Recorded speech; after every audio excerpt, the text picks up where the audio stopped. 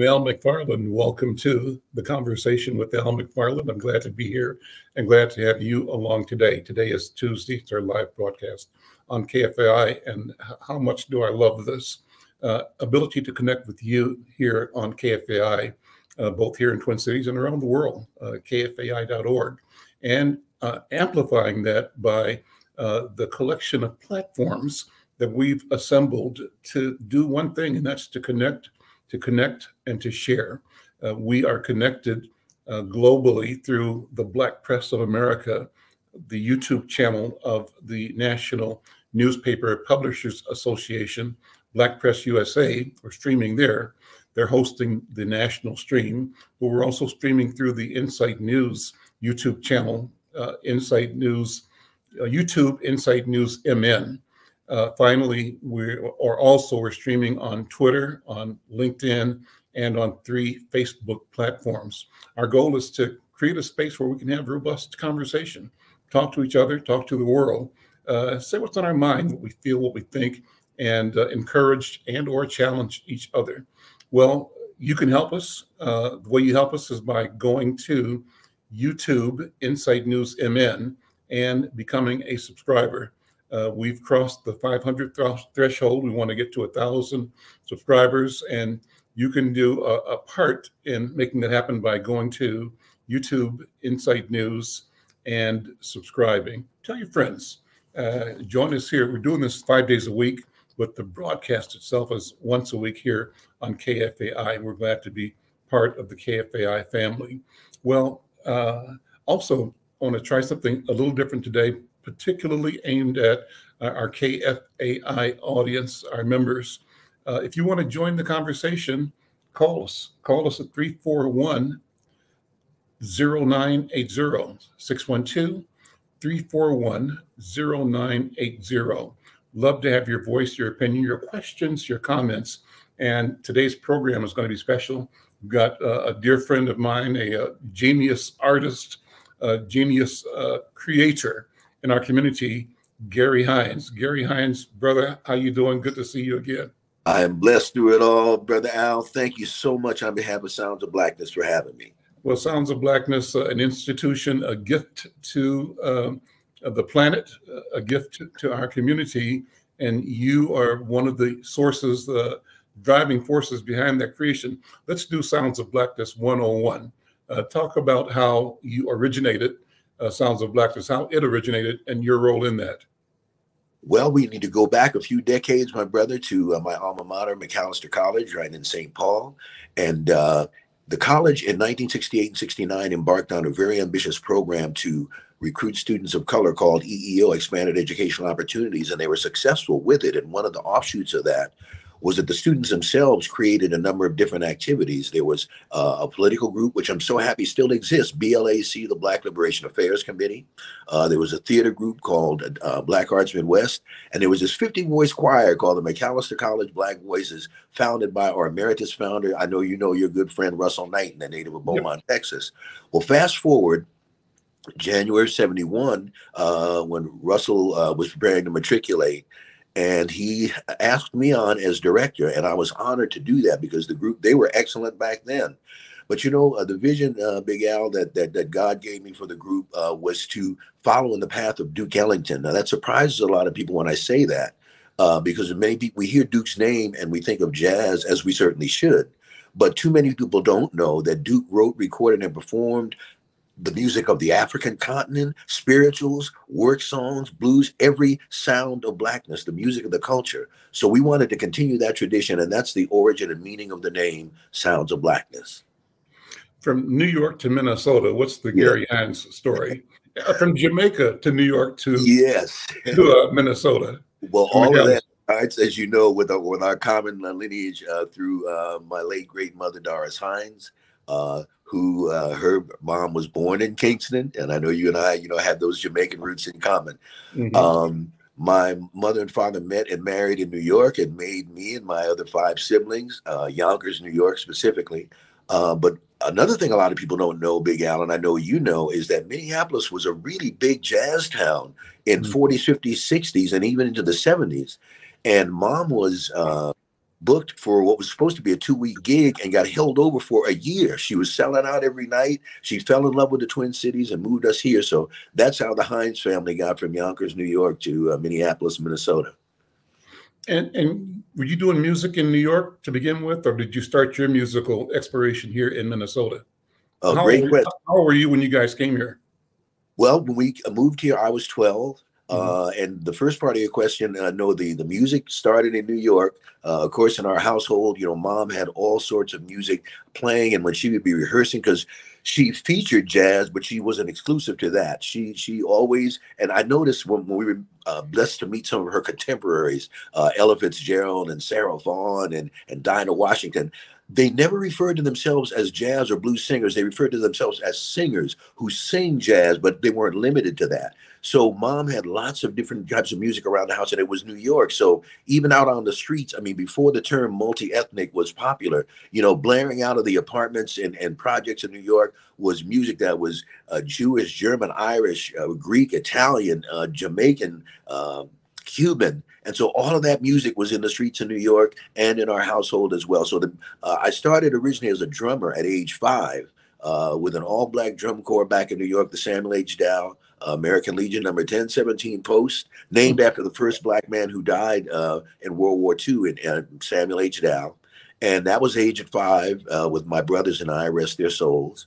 And uh, we continued that tradition when we came here uh, to Minneapolis.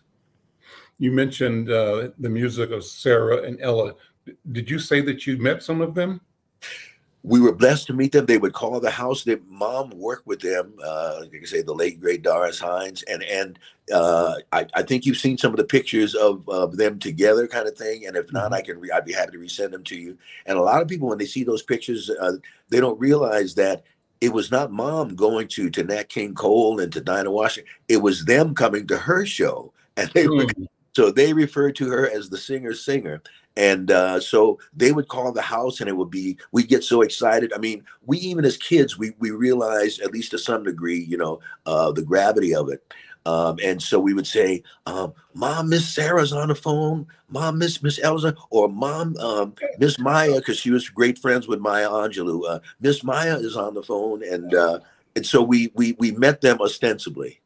Did you ever get a chance to talk to any of them? I mean i know you're 10 9 years old do you remember getting any encouraging words or curious words uh, to you as a kid from uh, the likes of uh, Sarah or Maya or uh, uh, Ella? Uh, certainly from the great Ella Fitzgerald when we mom and I went to see her concert to later here in Minneapolis and they reconnected but but certainly with the great Maya Angelou she my goodness was was so gracious she made her directorial debut, uh, Brother Al, with a film called Down in the Delta. Mm-hmm. And uh, she included Sounds of Blackness uh, on the soundtrack, and we we wrote it and recorded and performed a song for her and for that movie called uh, "Don't Let Nothing Get You Down." Mm. And uh, so we we met her uh, in that process, or actually reconnected with her because um, you know other before that back in New York it was just by telephone. Although mom and her had met in person, so um, it, it really came full circle. That's amazing. I'm Alan McFarlane. This is the conversation with Alan McFarlane. My guest is my friend uh, Gary Hines, the uh, musical director, the director of the famed Sounds of Blackness. And we're kind of walking down memory lane, yes. hanging out, uh, which is what I love to do because even though I ask Gary the same question, I get more information every time we talk. I'm more excited each time we talk, Gary. So I Me always too. enjoy spending time with you. And talking about New York, talking about your mom, you know, she was such a powerful and wonderful and generous person. Yes. Her spirit was massive. Just the uh, the power she had in a room, over a room, and it was not a power that was dominating, but a power that was uh, enriching. Yes. And a power that uh, uh brought a sense of possibility and fulfillment and joy. You know, so it was a wonderful thing just to be in her presence. And I just remember the time we saw I saw her last over at the Ordway in St. Paul in a tribute, and she was just as great as ever. You and she were performing or playing. Uh, you remember that event? What was that event called? It was a, a wonderful event. Uh, yes, something of remembrance and celebration of something. But I do remember the event. Yeah. I'm not remembering the Yeah. exact title. Yeah, yeah, And yeah, yeah. there, and you know, uh, mom loved you, and you know, she uh, adopted you as one of her sons. You know She did. You know, especially when she she she learned of the uh, the, the Jamaican roots in common. Yeah, and and she and she knew and loved Bobby, my wife, and that was the other thing Yeah. that brought us closer together. So that was so good. Well, Yeah. well, listen, we want to play some clips of uh, your of the new project uh, just coming out. Tell us about that first of all. Thank you. I appreciate it. Um, you're referring to our current single by Sound of Black Yes. called Yes. Woke. And uh, if I could quickly say a few things about it, um, Woke has been uh, submitted uh, along with our other single, You're Gonna Win, um, for NAACP Image Awards consideration. So we hope all your followers and viewers will support that. But also, you can see the, the video for both uh, projects, You're Gonna Win and Woke, on YouTube. Uh, and also, Woke is featured in the upcoming movie uh, Black Skin, uh, the premiere of which is going to be uh, a week from this Thursday, November 30th, 6 o'clock at the Capri Theater, uh, directed by Brother Mark Casey. And of course, it's Minneapolis based and about Minneapolis and George Floyd and Philando Castile uh, and Amir Locke, all of that into one and, and features Minneapolis artist music, Jelly Bean, Sounds of Blackness, and many more. That's going to be great. That's going to be. I think we have a trailer. Let's listen to some of that, Cooper, if you've got that available. And then we don't have your your video. We have your audio, which is excellent, uh, and and radio. That's cool. But if we can get your video turned on, our uh, our uh, there we Uh, go. so sorry about that. There we go. All right. but the voice is so powerful. It's rich, so that's fine. Uh, thank you. So Cooper, do you have the trailer? I mean, I can't imagine Philip or George woke up that morning only to die that night.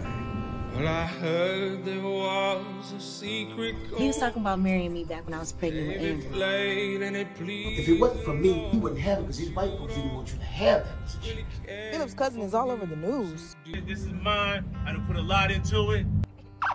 Well, it goes like Boy, you know I don't do violence. Dad, you got into a fight with the cops? You bet your ass I did. You know he loved me though. King composing hallelujah.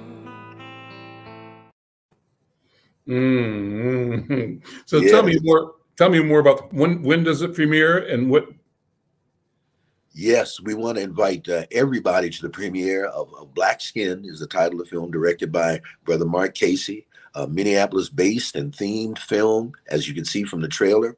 And the uh, premiere is going to be a week from this Thursday, so a week after Thanksgiving, Thursday, November 30th, uh, 6 o'clock at the Capri Theater, right on Broadway, North Minneapolis, right in the heart of our, our uh, uh, Black community in North Minneapolis. Uh, and then the run of the of the film, Brother Al, will be at the Emagine Theater in Eagan. So it'll be there at least a week. So those that that that uh, can't make the the premiere on the 30th uh, will have a week or a week or two, or if we show up for it, it'll be there longer. Uh, but they'll be able to see the film then.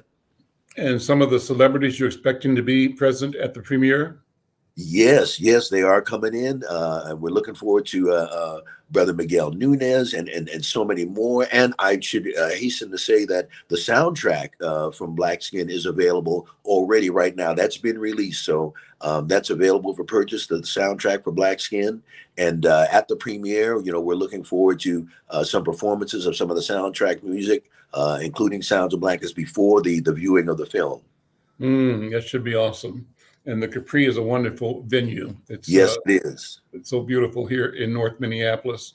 Let's Yes. listen to some other songs and just have you kind of walk us through uh, and just get uh, memories, reflections, thoughts as uh, we play uh, these snippets of some of your pieces. Uh, Cooper, drop something on. We'll make this a, kind of a random, but uh, you and I both will discover you uh, and uh, have you talk about it. Go ahead, Cooper.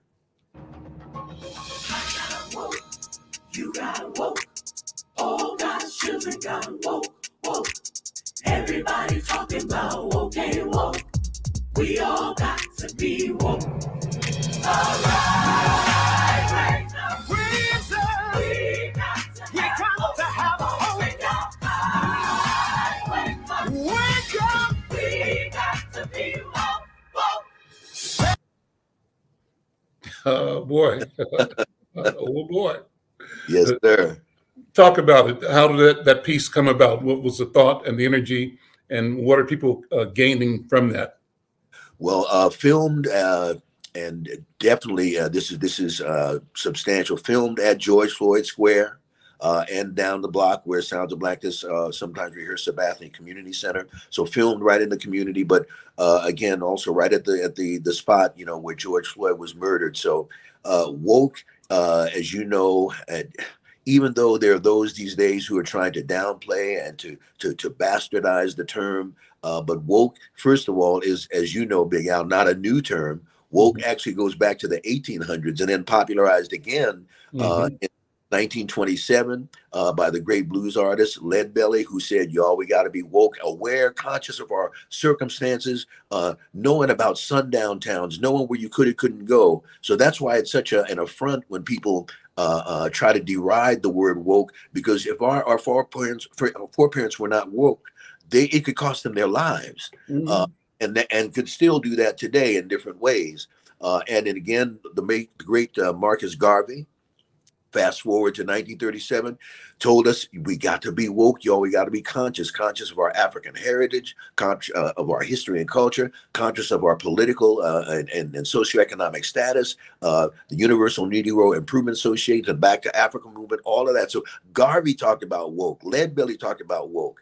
And, and even going before that I, when i researched uh, before writing this song uh, big al uh, i learned that there was a squadron of black and white soldiers who protected Abraham Lincoln. So we're talking like mid 1800s. Mm-hmm. Uh, his campaign for presidency because he was getting death threats back then, you know, talking about uh, emancipation of the enslaved Africans. Mm-hmm. And they call themselves the Awake Squad. So wow. the word woke has always been tied to us and our liberation in one way or another.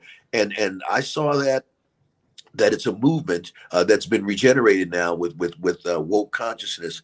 And but it needed a, a, theme song. The same way the civil rights movement had we shall overcome and the black power movement had uh, say it loud i'm black and i'm proud. Mm-hmm. uh, we put uh, our song time for reparations for our reparations movement. So sounds of blackness has been in anthem mode and uh, woke movement needed an anthem. And so that was the genesis and, and impetus behind uh, writing and recording woke by sounds of blackness that's a, a, wonderful thing. I'm Al McFarlane. This is the conversation with Al McFarlane. My guest is my friend, Gary mm-hmm. Hines, uh, the music director of the world renowned three time Grammy Award winning Sounds of Blackness. We're talking, uh, among other things, about the new uh, uh production music he's created for the film Black Skin.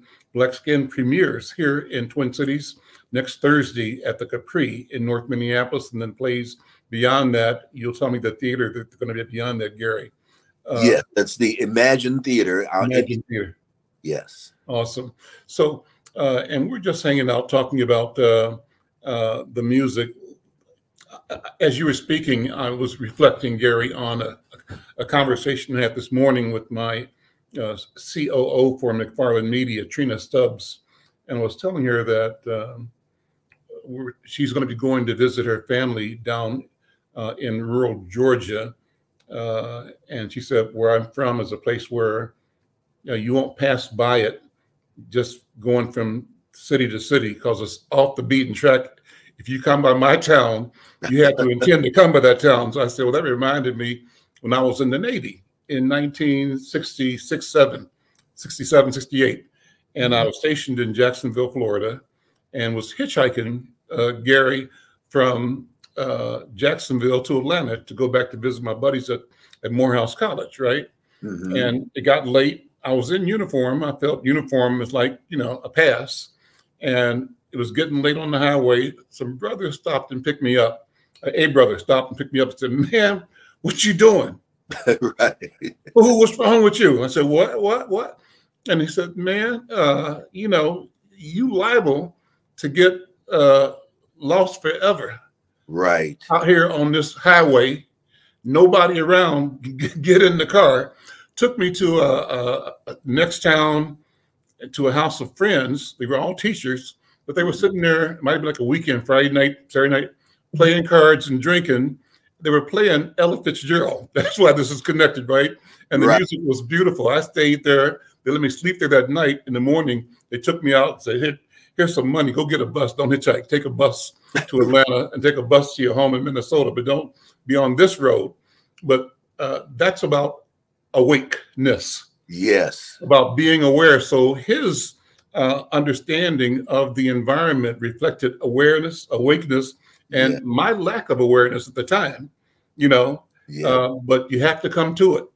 And might have saved your life, my brother. And you know, it brings to mind as you told that story, uh, brother Al. You know, just the the irony, ironic tragedy of how many uh, of our brothers and sisters who were lynched uh, um, were actually that happened to them in uniform. Yeah. Uh, I, I, wondered for years. Uh, my my dad, rest his soul, you know, he he fought in World War II, and we later found out Germany, Belgium, all that.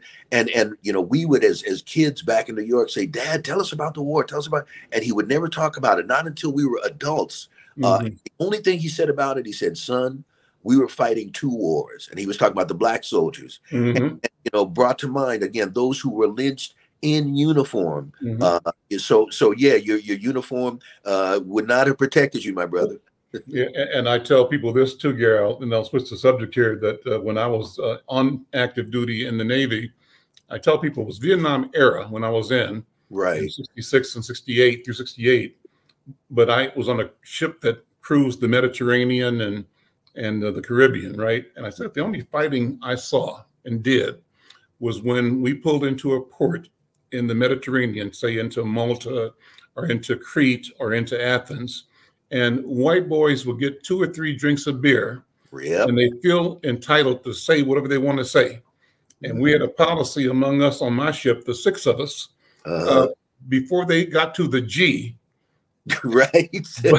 bust them upside their head. They, get loose. They want to say, they want to say the word and want you to be happy with them able to say it. So yeah. before you get to the second syllable, uh, you got a fist in your face, right? and that's that was the consequence. But and that alone probably was typical of the resistance that all of us have always had. Yes. But the story of that resistance that's personal uh, is never told. The, right. the dominant theme told is submission and acceptance of the condition of dominance. Never true. We fought from day one and continued, freedom was and remains our goal today. Yes, and and even uh, our enslaved ancestors, uh, and and this is why you know so often, it, of course, it, it's it's not taught. Um, all of the resistance that you're talking about, the methods went on and on and on. Even uh, sometimes uh, those of our sisters who were working in their kitchens, uh, you know, being molested while they were, they would do things like grind up glass till it was mm-hmm. fine, fine, fine, and then put it in that soup and and mm-hmm. just slowly let it let it kill their their owner overseer mm-hmm. kind of and uh what's wrong master? You sick? You're not feeling well? Yeah but and people thought they were just passing by but no th- there was resistance in so many ways so you're absolutely right. Yeah yeah. Let's uh, deal with another piece another another song here. Let's check this out and talk about it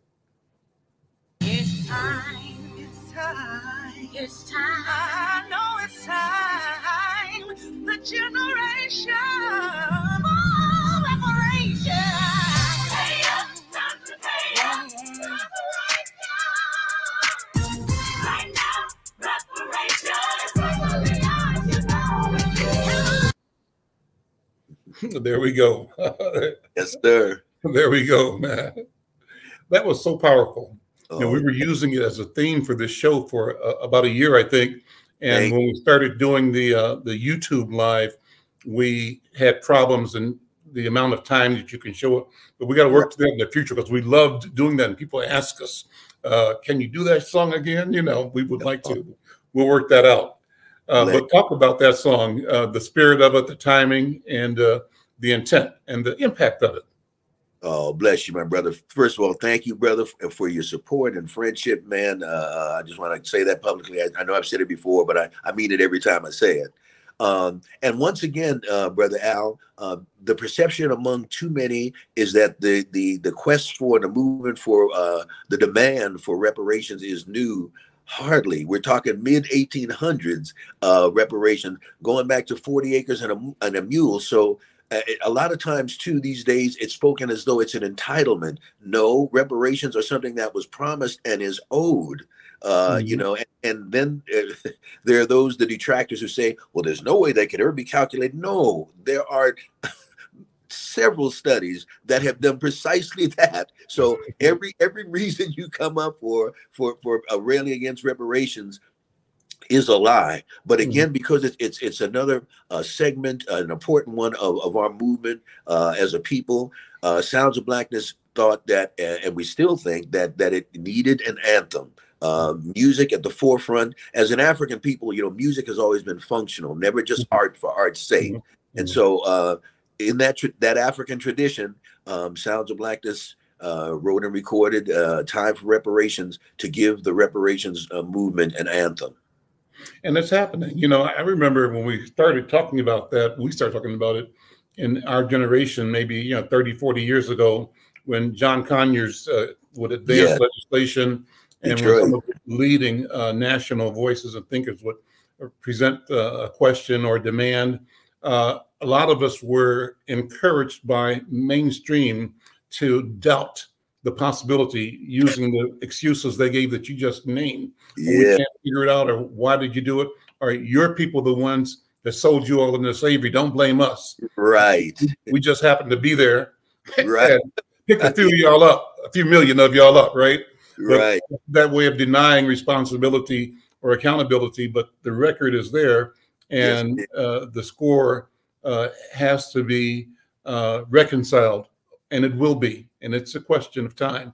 And yes, so, and, go and ahead. So many, you're so right on, uh, brother Allen. And uh, I've been sending to everybody I can uh, the clip of Martin Luther King's speech on reparations. Uh, he, again, the the general society tries to paint him as just a dreamer just a mm-hmm. passive dreamer. Martin was the farthest and furthest thing from that, and uh, and his reparate his black and beautiful speech. They don't mm-hmm. play that. Uh, mm-hmm. Uh, reparation speech. Uh, he said, in fact, they they actually even edited. I've seen it, uh, brother Big Al, and I'm sure you have too. Mm-hmm. Where the part when uh, going to Washington, the march on Washington, where they edit out this, the last sentence he said is, "We're coming to get our check." Yes, and, right. That's unless right. unless you have not seen that, you you would never know that Martin He's like, is that Buckham speaking? So no, that's Martin. That's just the Martin they don't want you to know. But Martin stood for reparations clearly, hands down. Is that speech available to find easily? Because we might find it and share it over the course of this I, program. I will, as soon after this interview, give me within the hour, I will send it okay. to you. At least okay, I have an excerpt of it. Yeah. Okay. Great. Yeah. And then uh, what do we have next, uh, Cooper? You got another piece. Before we do that, uh, let me tell our viewers and listeners here on KFAI, love to have you in the conversation. If you're viewing across any of the social media platforms, drop in a comment, a question. Uh, we'd love to hear from you and share that with uh, Gary Hines. And if you're listening on the radio on KFAI, uh, call us. Call us. Uh, the number is 612 341 0980. Got a question, got a comment, got a concern? Uh, let's bring your voice into the conversation. Uh, what do we have next uh, musically here? Yeah, talk about anthems. Now, Gary, I was at one of the, um, I think I told you about this, at one of our annual conventions of the Black Press of America out yeah. east somewhere. And uh, I told the lady I was from a sister, I was from Minnesota. She said, Minnesota, Minneapolis, you know the sounds of black? I said, yeah, of course I do. Of course I do. Uh, every day I wake up, before I move, I play optimistic. That song has lifted me and keeps me moving. And so she was just so full in her joy, even of discussing the idea. I think I called you, said, Gary, you got a friend here. You I got a friend, you know. Yeah. Let, us talk about, uh, let's play some optimistic and talk about that. You got it.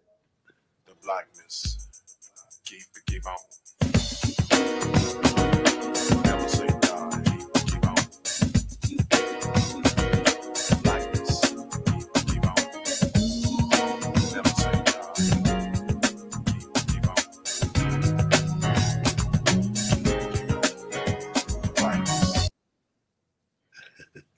Okay, just the music, but the vibe is strong, optimistic, oh, right? Bless you, my brother. You know, optimistic. Uh, shout out to our dear brothers, uh, Jimmy Jam and Terry Lewis.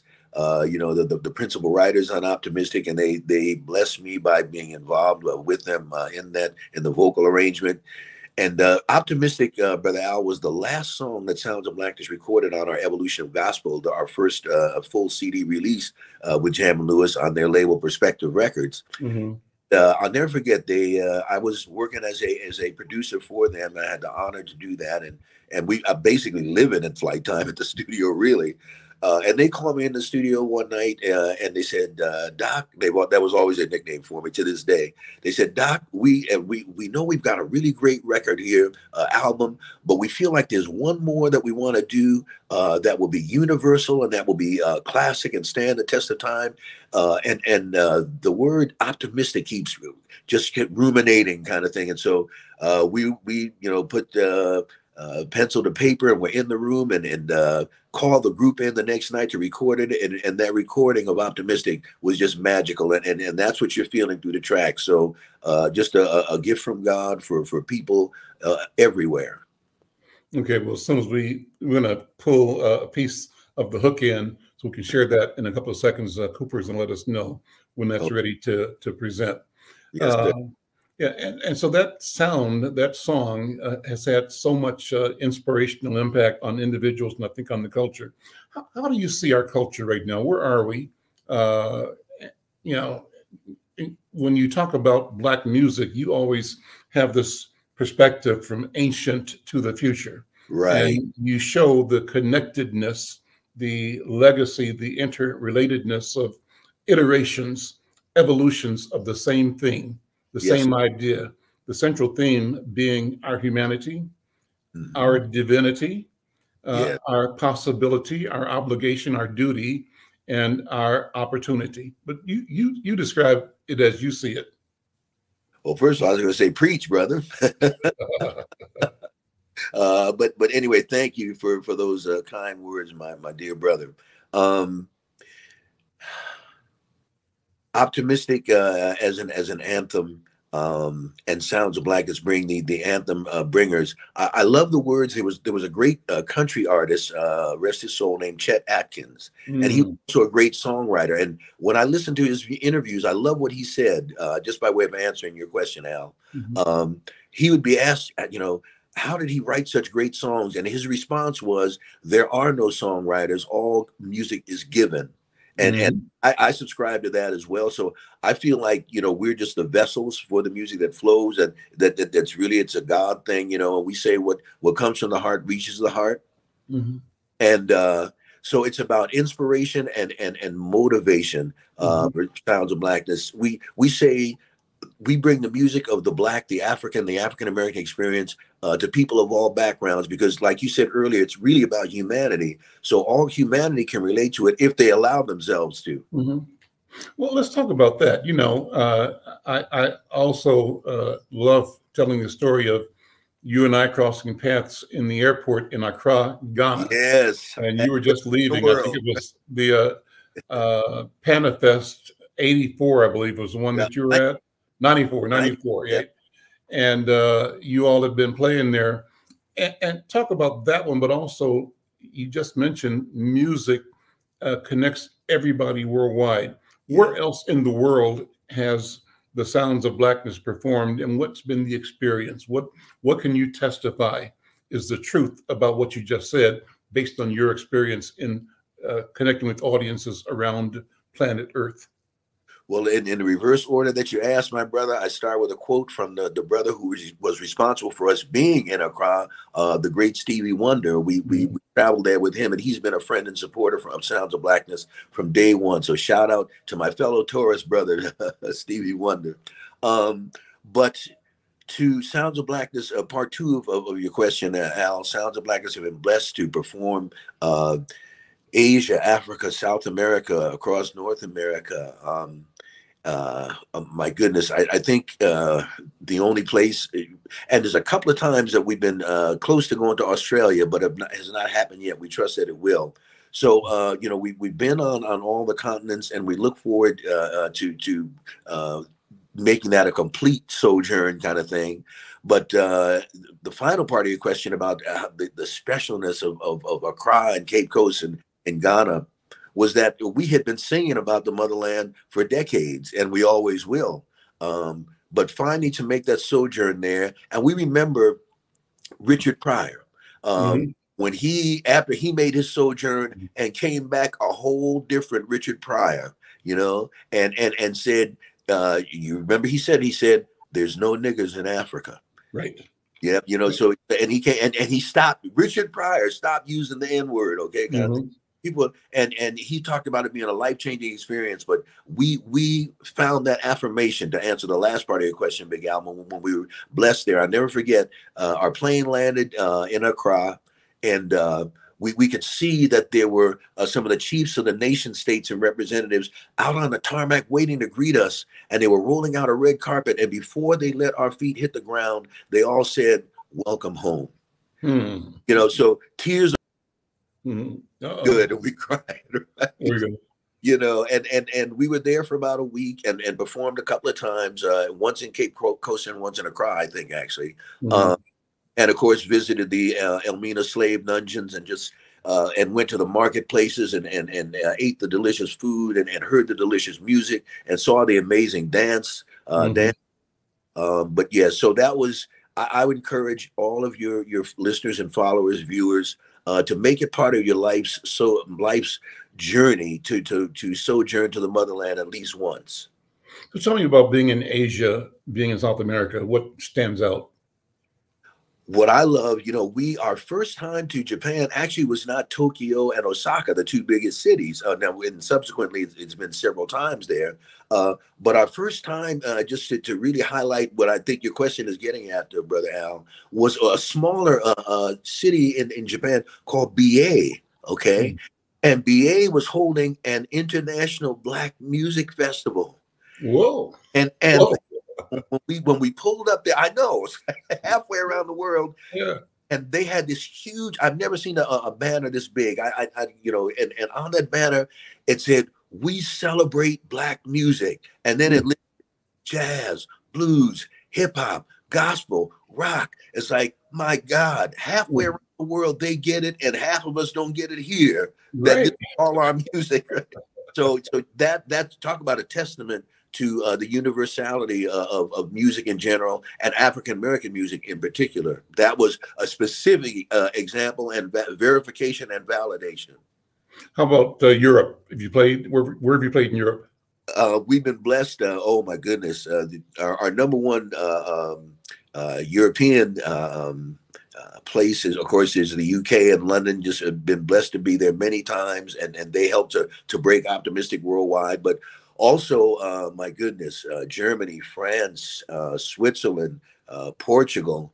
Um, so, so around much of the European continent, and I'm sure I'm leaving out a, a few as mm-hmm. well. Uh, um, uh, the Netherlands, just the the North Sea Jazz Festival in the Netherlands. Mm-hmm. yes, and and oh my goodness, did I leave out France? And, and we were blessed uh, to be at the Great Montreux Jazz Festival, uh, speaking of, of, France and in that area, and did a a, a, an impromptu grand finale at Montreux with Sounds of Blackness, mm-hmm. Isaac Hayes, Oleta Adams, and Little Richard.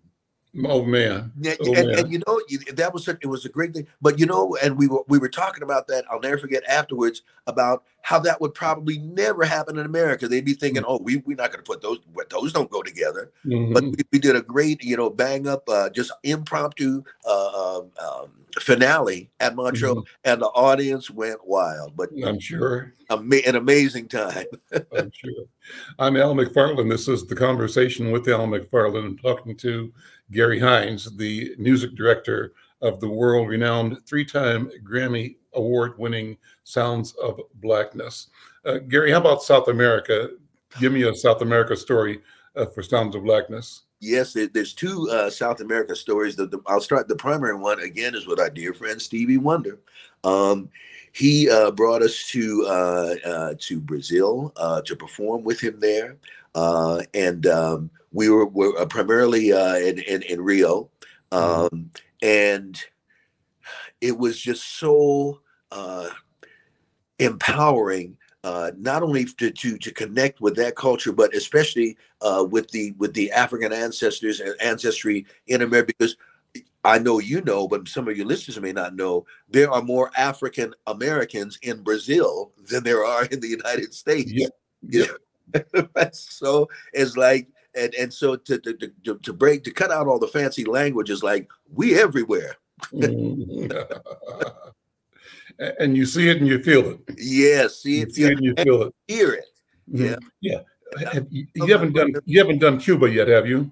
Have not done Cuba, but that is definitely on on the wish on the the proverbial bucket list. Uh, but Mhm. speaking of, of of the the the Latin uh, uh, connection there, our dear brother Car, the great Carlos Santana, uh, he makes the connection. When one one of the things I love about him, in, in addition to his brilliant artistry, is his acknowledgement of the motherland. I'll never forget about 10 years or so ago, uh, he released his had a release that that won like three or four Grammys, like best Mm.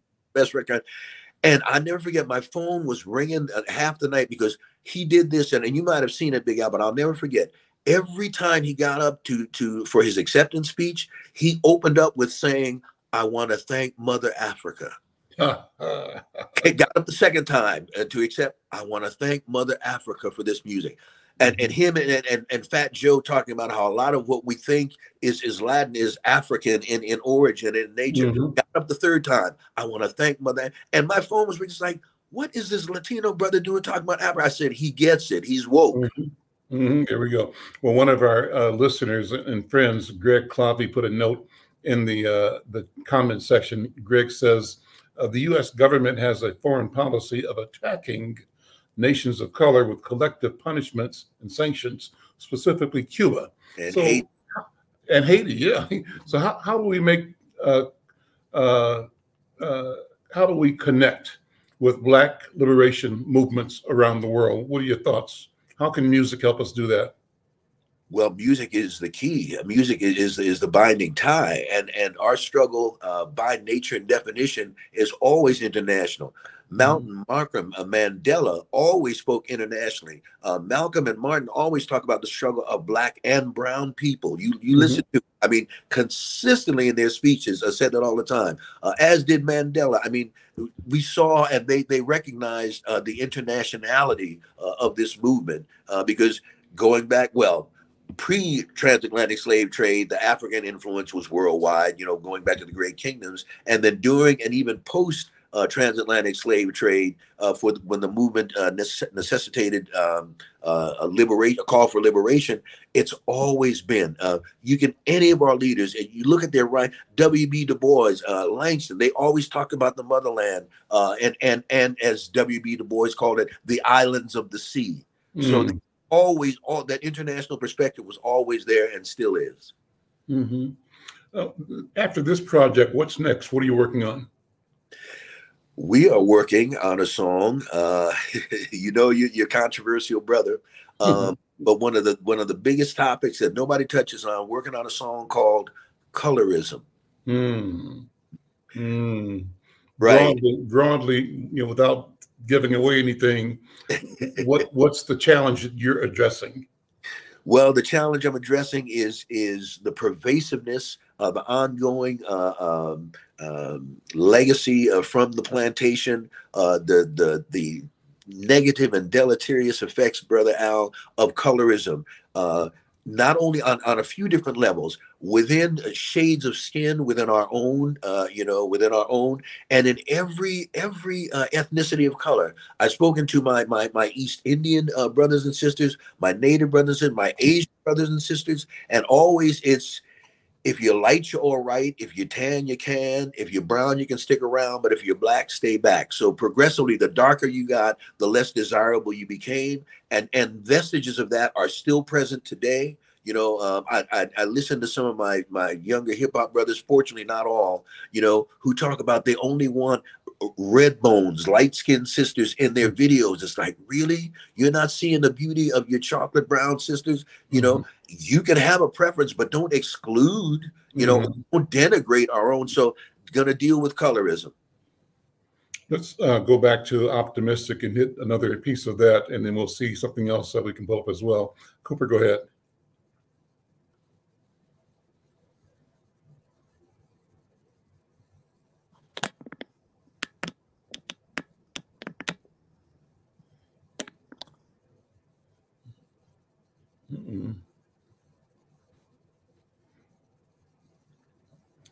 Uh, not having it yet. Let's see. Yeah, something happened. We didn't get it, but uh, our producer. That's all right. He'll, he'll get it. He'll get it in a second. We'll Right. listen to it. Um, yeah. So color, colorism is a, a big deal, uh, Yeah. and how that happens and what we do about it. And so, so you know what? So the answer to colorism, uh, brother Gary, has to be in the uh, in the sound, the sound of blackness. I mean, uh, this is dropping into my spirit at the moment.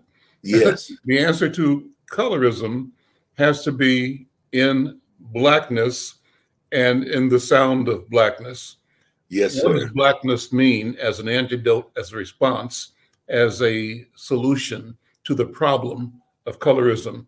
And I say that thinking about feelings that I have from time to time uh, being connected with uh, uh, Black space, Black consciousness, Black thought, uh, cosmic Blackness. Here's a story. Here's a story. So when Bobby and I uh, discovered that Bobby, my wife now, discovered that we were in love, right? I was in her apartment in South Minneapolis, and uh, she had told me she loved me before. Um, I'm young and I'm a, a- stupid boy, kind of, you know, I wanted to be, but I couldn't get it out of my throat. Right. Yeah, and so she's sitting there looking at me, and the look was like she was looking past my tongue, past my tonsils, down my esophagus, into and past my heart and my stomach. I've never been looked at like that before in life, right? Wow, I I. It was a feeling. And Yeah. so finally she said, Well, well, and I had to cough it up. I, I love you, you know. Yeah. And once I said that, man, I stood up and she stood up and we embraced. And in that embrace, we're at a second floor apartment over on First Avenue in South Minneapolis, right? Her Sure. apartment. It felt like the roof blew off the apartment building. Uh, The, the walls disappeared and the floor disappeared. And I had the feeling that the two of us were standing in blackness. That's wow.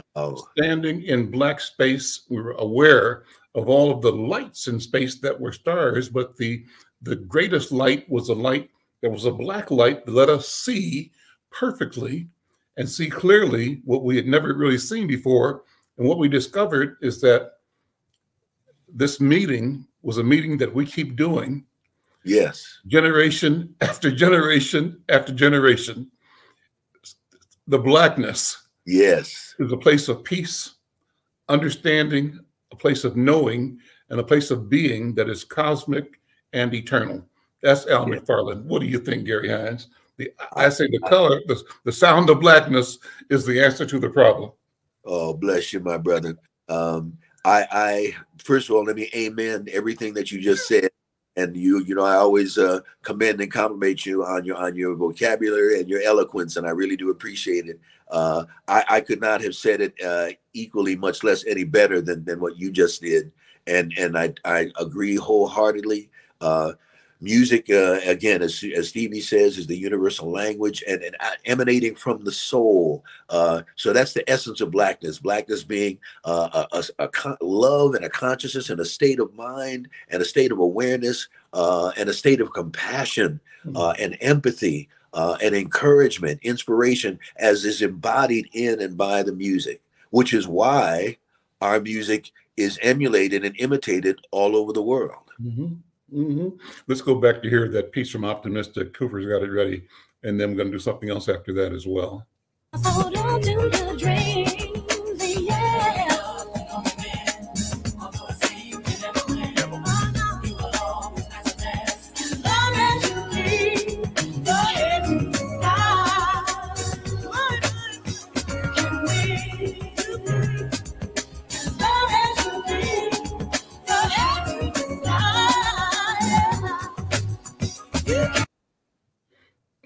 What, what a powerful instruction. oh, What a bless you. powerful instruction. and and and the the, the featured vocals of uh, the great Ann Nesby, my dear sister, uh, who you know years ago went on to a successful solo career that she is still uh, uh, uh involved with, and so I know she would want me to send love uh, to you as well, and and thanks to you, brother Big Al. Well, and then I heard her daughter just a few days ago. yeah. Over at the opening of um, Pimento's new venue over by Lake Calhoun. Yeah, Bde Maka Ska, yes. Yeah, Bde, yeah, thank you. Thank you. Yeah. Bde Maka Ska, the uh, the new uh, uh, restaurant venture there. And uh, she's working with Tomme Beevas, right? Yes. Uh, and bringing that online and other places as well. But she took a minute to sing uh, a cappella. And how do you sing a cappella?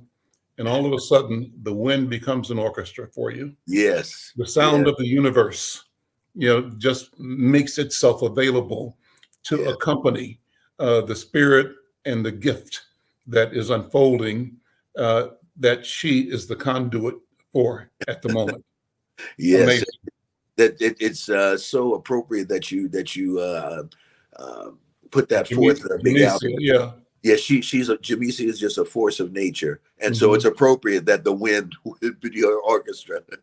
yeah, yeah. The Yeah. wind, You just yeah. the, the, and and it looked like so that that is another thing.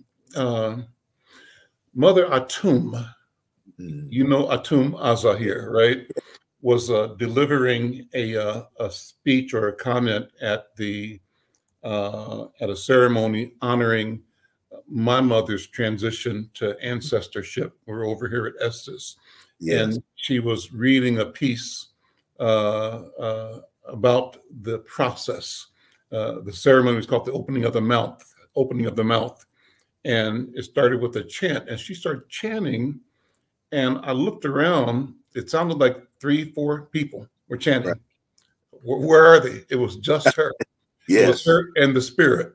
That's yes, the power of this music. That's what I think. yeah. No, you're absolutely right. Um, it, it's embodied uh, in the the Zulu South African term Ubuntu. Uh, I am because we are. And so it, it's never about uh, individual. It, it's about communalism and, and the village, uh, and and that that term is uh, uh, is equally applicable to those things of the spirit as well. We have one more piece to listen to, just a piece of uh, Cooper. Go ahead, and this is uh, uh, so thankful. I think. Well, we ready. The word of God says, So my words that proceeds from my mouth will not return to me empty, but it will accomplish what I please, and it will prosper where I send it. Let's go, Sam. Hey. So thankful, so thankful, So thankful for what? what? so thankful that you love it. Yeah, buddy. Everything's on time, man. This is the time. Oh, thank you. You know, and a shout out to our dear friend uh, Andre Locke, that's little buddy on the rap who who wrote the song with Jamisius. We we talked up Jamisius. Yep. Uh, and Jamecia also uh, uh, directed and, and produced the video as well. Like I say, she's just a force of nature. But um, the song was actually uh, two things quickly about the song, uh, brother Al. It was actually released this time last year, and obviously uh, in in alignment with the Thanksgiving uh, upcoming holiday. Uh, but what interests a lot of people uh, about it is because brother Andre, but little buddy as we call him, um, wrote this song for his son Amir Locke, who was tragically, uh, innocently uh, murdered by Minneapolis police who broke into the wrong apartment. Uh, the, the whole no knock thing and all of that. Yeah. And, and and Buddy, uh, he was he was led. I mean, obviously there there was anger and still is anger and outrage and a lot of emotions. But he he would be the first to tell you because he's told me, and, and even as he was writing it, he was telling me that God was leading him to to express thanks, uh, uh, even in the midst of this situation, uh, to be thankful, be thankful for one another, and and to create something uh, that that would uplift people. Um, and and he uh, put that rap, and then got with Jamecia and wrote the song. Uh, so thankful. Well, this is amazing. Uh, uh, I want to just close on uh, uh, a piece. We're putting it together right now from Sick and Tired because we use that for a theme for a long time as well. Thank you, Gary, man, man, it's so wonderful to talk to you. So wonderful to be with you. Uh, I love you. I love your work. I love what Love you you, stand brother. for, and uh, what you have accomplished. And are, yeah, I think you probably feel like I do. We're still at the beginning. Yes, You know, sir. everything, everything up to now has been practice, There there you go. and now, now the work begins. Right? Absolutely. Yes, Yeah. sir. Yeah. And so, what do you see out there on the horizon for new artists and new opportunity? What is AI going to do, for example? How do we uh, uh, broaden, strengthen, deepen uh, our equity, uh, having learned from, uh, you know, the, um, you know, the experiences in the industry in generations before where our work was stolen, right? Yes. But we've learned some lessons. Where do We you have. see us going? What's going to happen in the future? I see us incorporating, you know, we, it's about the African principles. We mentioned Ubuntu a while ago, but to answer your question, my brother, uh, Al, I see us uh, incorporating the principle of Sankofa, Mm-hmm. looking back to move forward because Mm. our, our, our, our heritage and our history uh, and our legacy is our strength. Mm-hmm. and it's so unique and it's so powerful uh, that we need that. You know, I, we, we used to hear uh, uh, Malcolm say, "We can't know where we're where we're going unless we know where we are. We can't know where we are unless we know where we've been." And that Mhm. applies musically and culturally as well. Uh, so it'll be a situation of uh, what's old is new. Okay, let's check out uh, a little of uh, uh, "Sick and Tired." Yes, the words of Fannie Lou Hamer.